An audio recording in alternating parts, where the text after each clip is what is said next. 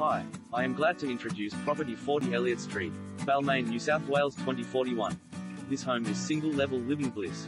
With a fluid layout from front to back inviting relaxation, this double-fronted weatherboard cottage unites the old with the new via a striking cathedral-style extension. On a leafy street between Darling Street and Anne Cashman Park, the light-filled home features a spacious living area and stylish designer kitchen opening to an entertainer's deck and child-friendly garden.